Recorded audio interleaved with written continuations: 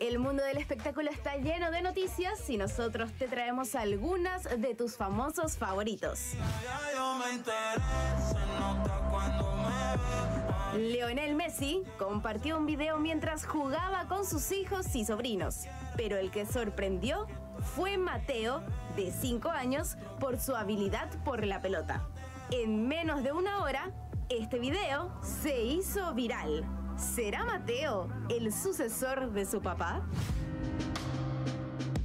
La hija menor de Meghan Markle y Harry destaca entre los posibles ocupantes del trono británico. Si bien han pasado siete semanas desde que le dieron la bienvenida al mundo a Lilibet Lily Diana, parece que el nombre de su pequeña se agregó recientemente a la página de Orden de Sucesión Real.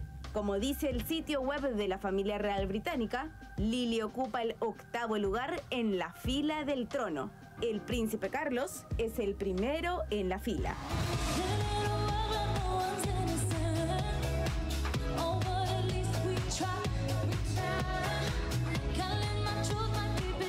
Ariana Grande anima a sus fans a vacunarse y a seguir usando mascarillas. La cantante ha hecho acto de presencia en sus redes sociales para contener los efectos del coronavirus. Vacunada y con mascarilla. Compartiré toda la información que pueda porque me preocupo y me gustaría ayudar a todos aquellos que todavía tienen dudas, ha escrito la estrella del pop en su cuenta de Instagram. También habló sobre la nueva variante Delta. Nunca no. Eres masoquista, con mi culpa un egoísta puro, puro. Shakira está a un paso del juicio ante los indicios de que defraudó 14,5 millones de euros, unos 17 millones de dólares a Hacienda.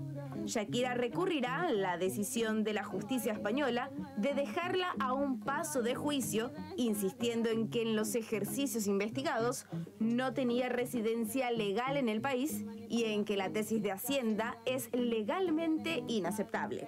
La cantante ya ha pagado a la agencia tributaria junto a otros 3 millones de intereses y su defensa recuerda que, al devolver la cantidad que Hacienda le reclama, ahora no tiene deuda tributaria pendiente.